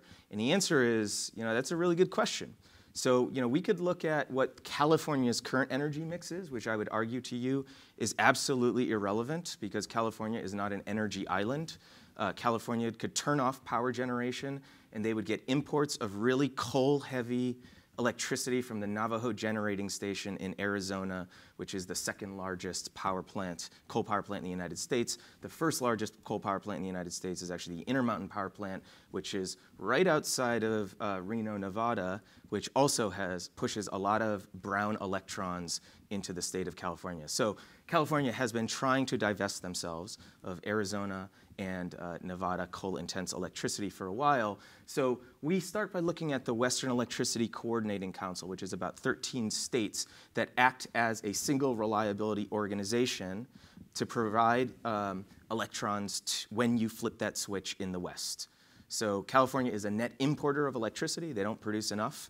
Arizona is a net exporter of electricity. But we start by looking at the entire West. And then what I'll, I'll show you is we'll, we'll go to uh, wind and solar. And I'll, I'll give you the, you know, let's assume that they get 100% um, wind and solar. So coming up with the funds for the uh, train system itself is tough enough. Coming up with another 10 billion or whatever it's going to cost for uh, wind turbines that you know, directly push electrons into the train propulsion system, which I would argue is not going to happen, is also going to be very challenging. So I'll show you what happens on both sides of it. And then uh, supply chains. So um, we do some economic input-output uh, modeling to capture the upstream effects in the supply chain of everything that goes on when you do the things that I mentioned before, not just manufacturing vehicles and infrastructure, but also things like producing energy. So, um, you know, again, complex infrastructure, uh, I can give you a bit more detail. So uh, over the past 10 uh, years now, I've been developing these life cycle models and uh, I've analyzed everything from um, urban transit systems across the US to high-speed uh, or intercity passenger transport. And these are all the components that I consider when I uh, do my life cycle assessment. So I've got a, you know, a big modeling platform to do this. And you know, it's everything from you know, spraying herbicides on tracks to um, maintaining trains to uh, uh, manufacturing cars. It's not just about high-speed rail, which is where I've been focused, but it's a commensurate system boundary, which is what I'm showing you here. Uh, yes, we also need infrastructure for cars. We need infrastructure for planes. We need fuels for those systems as well. So we need a commensurate system boundary so that we're actually comparing apples and apples. And for each of those bullets that I just showed you, what we do is we analyze the energy inputs to the system as well as the air emission outputs. And then most recently, I've been connecting those air emission outputs to uh, their potential for uh, public health, human health, and environmental quality impacts. So we do some air quality modeling and, and uh, actually connect it to impacts. Uh, a pound of something really toxic that's emitted in the middle of nowhere and degrades or turns into, through atmospheric chemistry, something that's inert before somebody inhales it is not necessarily something we care about. So ultimately, we want to be moving from emissions to impacts. And what you'll see in a minute is I'm not going to solely focus on CO2, and that makes the problem a lot more complicated. So high-speed rail wins out in some, uh, in some categories, but other modes might win out in other categories. So how do you even make a decision now when you've got competing environmental information? So um, the uncertainty that you'll see in a second is uh, related to a few things, not only uh, emerging vehicle technologies, but also these energy mixes, as I've mentioned. And then the big one uh, that we like to talk about are, uh, is ridership. So what happens if the California high-speed rail ridership model is not quite right? What happens to the environmental payback? So here, I'll start simple. Here's a, uh, a car up top, uh, a high-speed train in the middle, and an airplane at the bottom. At the top for the car, You'll see a five and a one at the end of the bar chart, the stack bar chart. Um, that implies a number of passengers, okay? So a car with five passengers, which, you know, we don't have on average. We have about 2.2 on average on a long distance trip. By the way, the average occupancy on a long distance trip is much higher than it is on an urban local trip, right? So we tend to put a lot more people into uh, cars when we do long distance travel. Um, so the gray portion of the bar are the tailpipe emissions. So that basically that's everything that's emitted from the combustion of fuel. Anything that is blue is vehicle manufacturing or maintenance related, right here. Anything that's red, orange, pinkish is infrastructure related. It could be infrastructure maintenance, infrastructure construction. Anything that's green is energy production. That's the, the in this case, it's the CO2 emissions that are produced before you even burn the fuel in the engine. That's basically uh, extracting raw fuel from the ground, processing it, moving it to the place where it's actually burned in the vehicle. So that's about 16% for a car. Before you even burn uh, 100 grams, emit 100 grams of CO2 from a car, 16 grams or so have been emitted uh, in the supply chain, and that's actually growing because we are moving from we're moving towards carbon in more carbon intense uh, fuel sources like tar sands and oil sands. Here's a high-speed train. Infrastructure's big. This is propulsion electricity right here in the Western Electricity Coordinating Council. 150 versus 670 passengers, so high speed is looking pretty good. Um, and then a Boeing 737-800. So this is a modern aircraft, okay? And we could actually make it more, we could actually look at what a future aircraft is gonna look like, which I'll show you in a second. What to take away from this is that there's, uh, there's a space between low and high ridership where some of these modes might compete.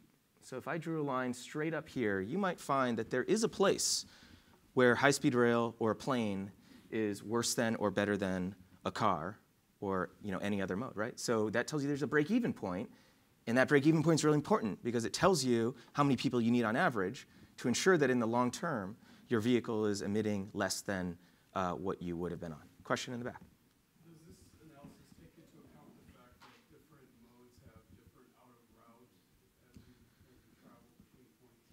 It does, yeah, thanks. That's a great point. So um, the trip here is not uh, a uh, mile to mile exactly. So we're actually, uh, we have a per trip comparison that includes uh, longer travel in a car versus more direct travel in a train versus even more direct travel in a plane. It's only the line haul segment of the trip. It's not including door to door. So high speed, a high speed train that drops you off in San Francisco, you may still need a car to get you or another train to get you to the final destination. This is not door to door. No. So the airline is only the line haul segment. It's only the line haul segment. That's right. And high speed train is only the line haul segment. Yep.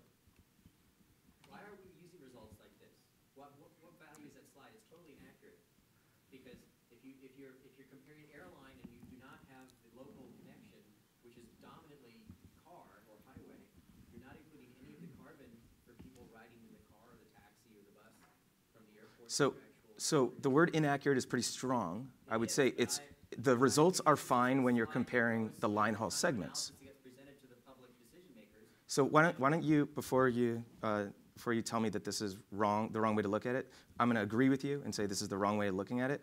And the latter half of the presentation, uh, you'll see where I make an argument for the better way of looking at it.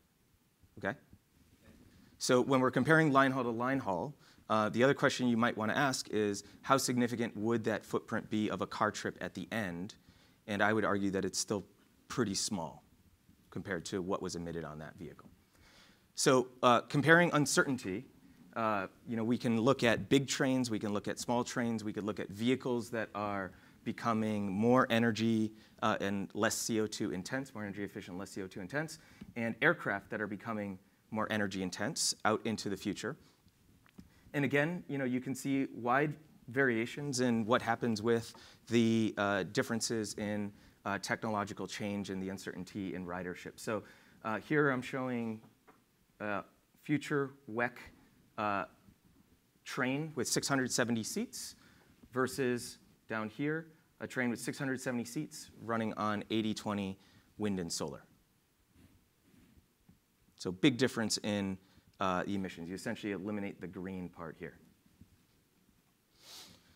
And again, we don't want to focus strictly on CO2. Um, we can include uh, other environmental and human health concerns. So here we have respiratory effects, acidification of the environment measured in grams of uh, moles equivalent, H plus moles equivalent. And at the bottom, the potential for photochemical, ground level photochemical smog formation.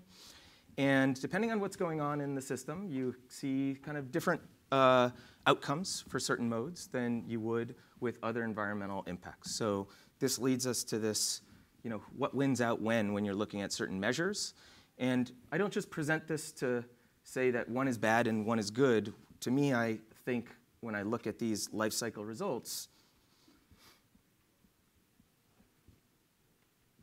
this isn't going backwards, but when I look at the life cycle results on the last figure, um, you know, what in those stacked bars, what components are contributing to this right here, and what is it that we can do to actually improve what we're seeing. So I think this is frozen, uh, IT folks.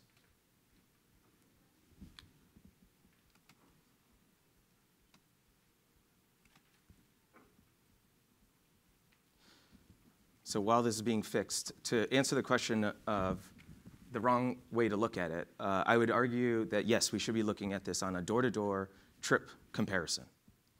And you got to start somewhere. Um, I don't know what's going to happen at the end of a high speed rail trip in 2030 when that system begins running. So we can make some assumptions there. And we've done that for um, this analysis. I don't have the results in front of me right now. I'll show you another way to frame this.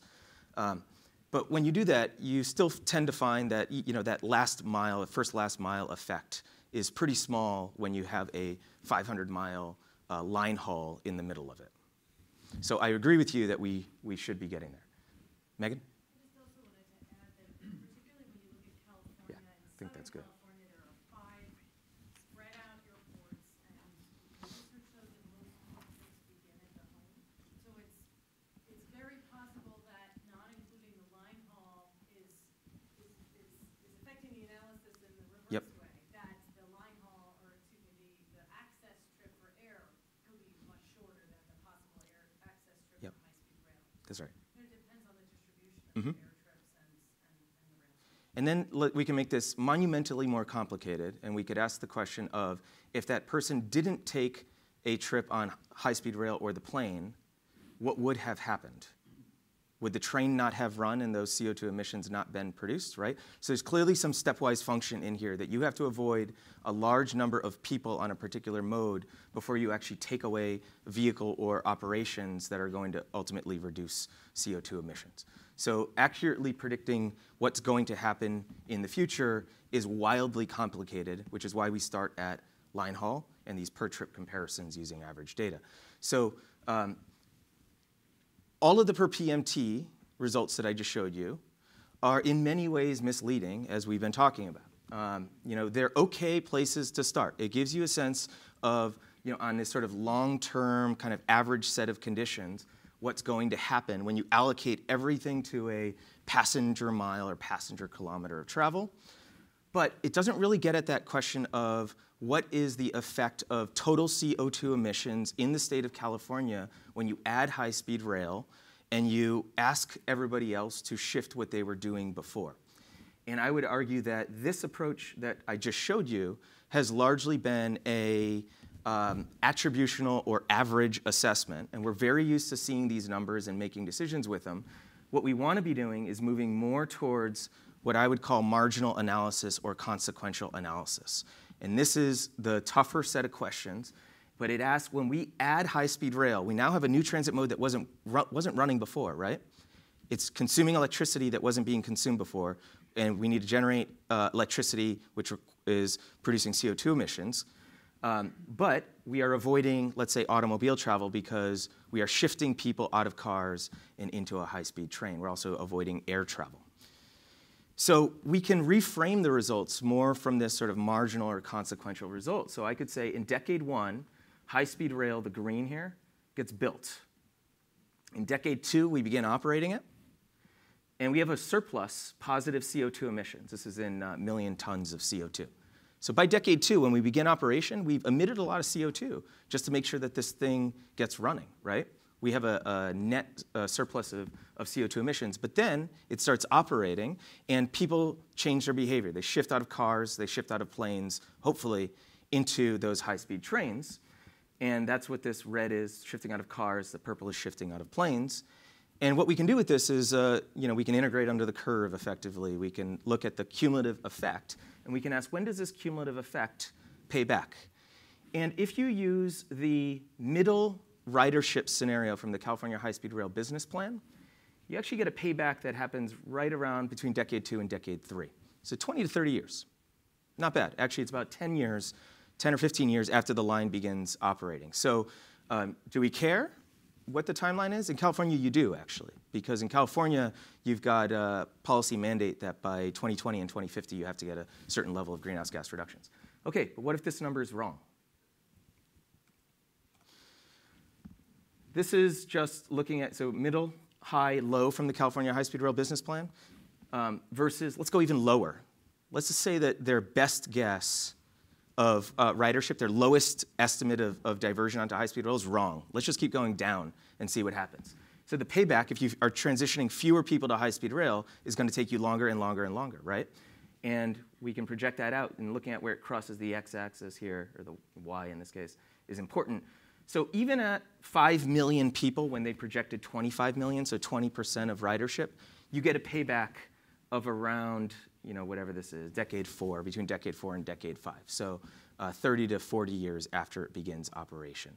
And these are for the reasons uh, that Drew mentioned before. It's hard to catch up um, to the energy efficiency gains that you get with high speed rail. So even at low ridership, um, you need very few carbon intense car trips and carbon intense airplane trips shifted to get that payback in a reasonable amount of time.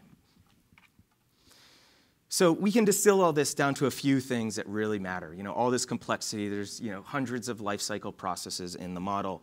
Uh, we can distill this down to a few things that really make a big difference in terms of CO2 emissions uh, in this case. So you know, on the high-speed rail side, it's infrastructure, ridership, the vehicle design itself, and the electricity source. You know, those are the four things. So do you need to care about the uh, CO2 emissions from uh, producing herbicides to kill weeds on the track? No. It's not, it's not big. It's not zero, but it's not big. So these are the four things you want to be focusing on. Can you reduce infrastructure CO2? So yeah, you could reduce uh, electricity CO2. We talked about that. You can do certain things with the vehicle, and then you can get a lot of people on the train by various strategies, which I won't go into. Um, what about infrastructure? So yeah, there are certain things you can do. We presented this work to the California High Speed Rail Authority starting in 2010-ish, and it was before the 2012 business plan came out, and they said, you know what? We could absolutely use uh, supplementary cementitious materials like uh, fly ash or ground granulated blast furnace slag, which reduces the CO2 emissions uh, in infrastructure by about 15, 17%. Uh, so that's actually now built into um, their business plan. They say they're going to use um, low CO2 cement or concrete as much as they can. There's other things on the, you know, if we want to do NOx emissions, I could tell you there's certain things that can be done. Uh, selective catalytic reduction, the uh, uh, use of ammonia to neutralize NOx emissions uh, in the production of concrete. So uh, concrete kilns are moving more towards these uh, selective um, catalytic reductions, and that has a big difference on NOx emissions. But you know, eliminating, eliminating that carbon-intense electricity source is by far the best thing you can do. So, uh, you know, should we build high-speed rail or not? I've been giving this talk for like 10 years now, and um, you know, this question I think is totally wrong. I think it's the question. The right question is, if you don't build high-speed rail, especially in California, what happens? How do you provide mobility if you do not build high-speed rail? I think you can make the same case for the Northeast. So, do you expand roads? Um, do you expand runways? Um, both of those things are challenging to do in California.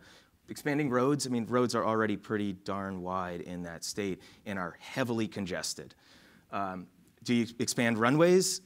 You know, there's only so many runways you can build in the middle of the ocean when you've got LAX or San Francisco or Oakland. So, um, you know, putting more runways inland or airports inland, yeah, that's an option.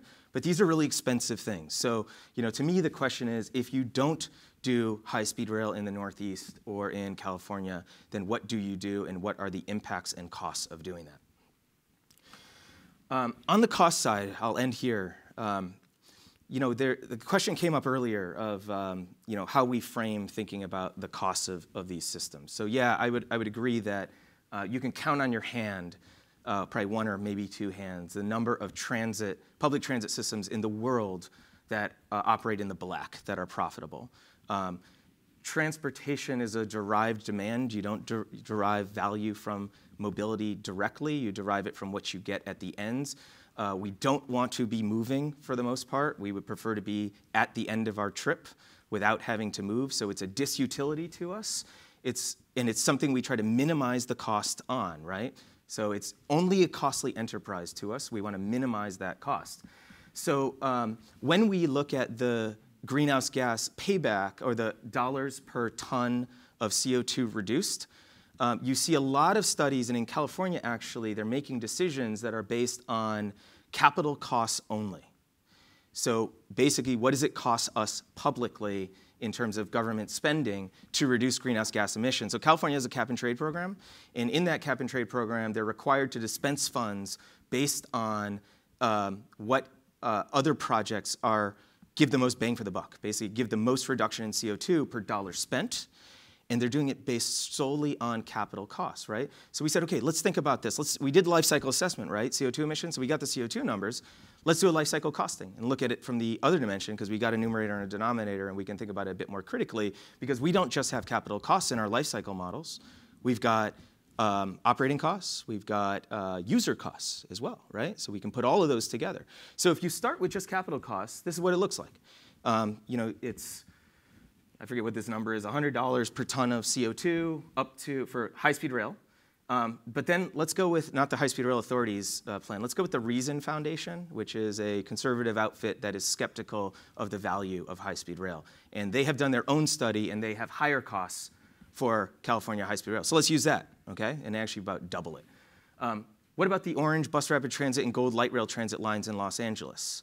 How about a bike ped pathway in Los Angeles? So it costs money to build this infrastructure, but you get CO2 emission, um, sorry, but you get CO2 uh, emitted when you're doing this, and potentially some CO2 benefits by moving people from cars to uh, these new modes. But then there's operating subsidies. So this goes back to the question of, you know, we have to subsidize these systems to run. And on top of that, or beneath that, I guess in this case, you have user benefits, right? So what happens when we factor in not only the public agency costs, but what users save in terms of out-of-pocket savings from not having to pay so much money driving their cars around. So if you do the math, which we've done here, um, you find that the uh, dollar savings um, for these trip takers is actually pretty significant and actually is significantly larger than the capital costs. And if you take the net of that, you find that pretty much any public transit project that shifts people out of cars or out of airplanes and onto public transit, rail, um, or urban transit or bike walk produces not only CO2 benefits in these cases, but it does it at a negative cost. So it does it at a cost savings. And I would argue to you that this is the sort of economic framing that um, is really important to think about when we make decisions of uh, you know, what we're doing rather than you know, just sort of capital outlay. With that, I'll end. Um, all of what you just saw there is uh, published work, um, peer-reviewed work, and is available on the project website. Thank you all.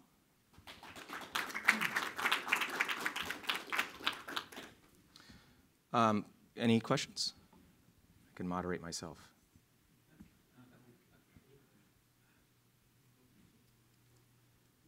All right. I'll throw out real quick, what percentage of renewables are you going to try to get for powering California high-speed rail? Has any numbers been thrown out, any of the plans, I haven't looked yet. Yeah, the, the, um, the, they have a renewable plan, the California High Speed Rail Authority, which uh, doesn't, if I recall correctly, doesn't actually look at uh, scaling in of renewables at percentages less than 100. So I think what it does is it says, okay, let's go all in, and what would it take to get us to generating um, 100% of our energy by wind or by solar? So they have a scenario for 100% wind, a scenario for 100% solar, and then they have scenarios for um, you know some mix between that. And uh, I don't remember the, the specific costs. They're, they're not small, they're substantial costs. And you know, the train runs at night, and solar isn't providing electricity at night, and the train runs at times when wind might not be blowing. So ultimately, uh, the system has to be connected to a larger grid that's able to produce you know, a base load of electricity. And uh, essentially what you're looking at is, is sort of uh, you know, playing around with accounting, where, which might be okay, um, but basically what you're doing is you're providing zero carbon electricity to offset whatever potential carbon you might be using in the meantime. Yeah, I there's a plan to trade solar energy for hydro, um, during the night from the Pacific Northwest. Yeah. Yeah. There's also, you have some geothermal capabilities there and small-scale hydro in irrigation ditches. Yeah. So it Could play a part or bring in Yep. hydro from elsewhere. Absolutely. It's a wildly complex question. It's a great question, but it's wildly complex because just, you know, dealing with, uh, you know, energy markets to, to make sure that this train is running on green electrons is, uh, is a complex problem that I don't think has been really thought about rigorously. I certainly have not.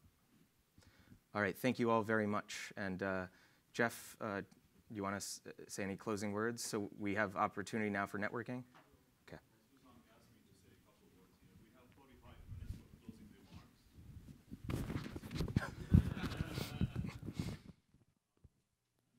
Maybe we'll just take a few minutes. Uh, If, if we were to repeat this workshop one more time, what subjects, what other things that you might uh, think might be of interest uh, to you? Mike, I, I can speak about about this one. So again, if, uh, yeah, Yes, from my perspective, I think it's the demand side. It's figuring out how to market the service to people and figuring out what ats, what, what, what service attributes it needs to, to have and how you, how you make it accessible to the individuals. that's, a- that's a good point. Anything else that, uh, on anybody's else mind? Yes. Not my favorite subject, but Uh, finance. you want- you we the mic? get the money to build it, finance, Finance, finance part. or, um. I mean, there's the, uh, the operations, the development, the sustainability, definitely, uh, these are three uh, areas that we can actually build upon as well, too. So, um, but that's finance. Anything else from anyone? Yeah, for me, uh, it's education or the education forces because I think, as you can see here, is is almost all over the place, and we do need some kind of systematic thinking about the future generation, who can really run through those kind of high tech industries. Okay. Well, I think uh, it's getting late, but I think it's definitely something we, we will consider uh, to repeating in the near future here. Um, I want to thank University of Maryland, the staff, faculty, all the speakers, all of you who attended today here, participated, um, especially also the uh, Arizona State University faculty, Susang, Mike, Jeff, you've done a great job. Thank you very much. with that, if you don't have any comments or questions, I think we can uh, wrap up for the day. Sounds good? Yeah, I just have one more Yes. uh, announcement. I think Jeff, uh, uh, we are going to send, uh, with the permission from some speakers, we are going to share the presentations if possible. And also, we do have the video taping here. We try to organize them and It will be host, online. Yeah, Yeah. host uh, in our. Uh, Jeff, uh, that's something we can do for- okay. Yeah. Yeah. So I- we'll be getting your, per- the presenter's permissions, of course, but we'll provide as a free service to send out and disseminate to, to other uh, folks in the industry as well. Yeah, Okay, and maybe perhaps uh, solicit some additional ideas uh, that you might think of between now and, and hopefully for the next uh, session.